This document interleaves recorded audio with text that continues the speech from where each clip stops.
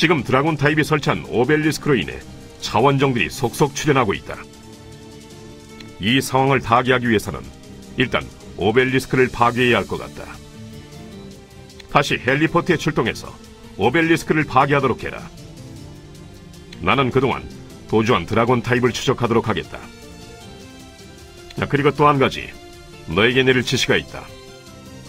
홍시영 사장이 만발을 용으로 변태시킨 뒤 통제 장치를 이용해 자기 마음대로 부리려고 한다는 건 거의 확실해 보인다. 용은 S급 차원종이다. 몇 시간 전에는 운이 좋아서 검은 양 팀이 처리를 한 모양이지만 우리도 그들처럼 운이 좋을 거라는 보장은 없다.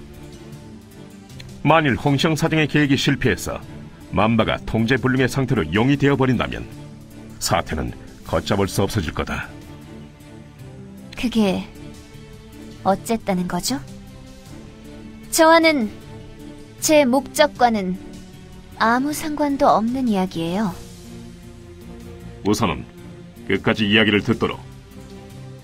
지금 홍시영 사장이 저렇게 과격한 행동을 일삼을 수 있는 건 특경대가 이 일대를 완전히 격리시키고 있는 덕분이다. 아울러 이 일대는 정부 차원에서 오형 구역으로 지정된 상태지. 이 모든 사실들을 종합해 본다면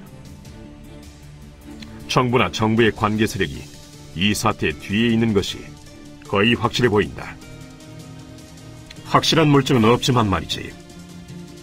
어쨌든 정말 정부가 그녀의 뒤에 있는 거라면 우리 힘만으로는 막을 방법이 없다. 그런 의미에서 바이올렛, 지금부터 내가 하달하는 지시에 따르기 바란다. 방금 전에 나는 네가 놓친 드라곤 타입을 추적할 거라고 말했다. 그게 홍시영 사장이 내게 내린 지시였지. 하지만 나는 그 지시에 따르지 않을 생각이다. 그 대신에 홍시영 사장의 뒤에 있는 게 어떤 세력인지를 캐보려 한다. 물론 이것은 홍시영 사장에 대한 명백한 위반 행위다. 그녀가 이 사실을 알게 되면 내게 징계를 내리겠지. 바이올렛, 너에게 내릴 지시라는 건 선택을 하라는 지시다.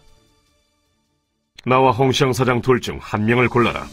누구의 지시에 따를 것인지를 판단하라는 것이다. 만일 홍시영 사장의 편을 들겠다면 지금 바로 내가 말한 것을 사장에게 알리도록 해라. 반대로 나를 선택하겠다면 내가 지금부터 하려는 일을 사장에게 알리지 마라. 어이가 없군요. 제가 당신의 편을 들어줄 거라고 생각하나요? 아마도 들어주지 않을 테지. 잘 알고 계시군요. 그걸 알면서도 제게 자신의 결심을 털어놓으시다니.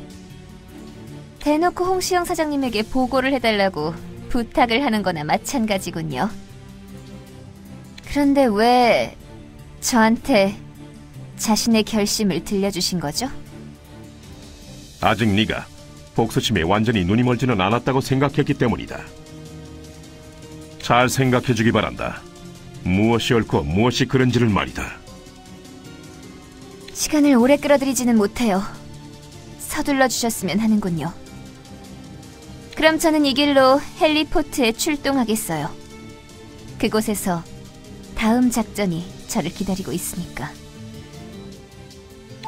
방심하면 죽는다. 잊지 말도록.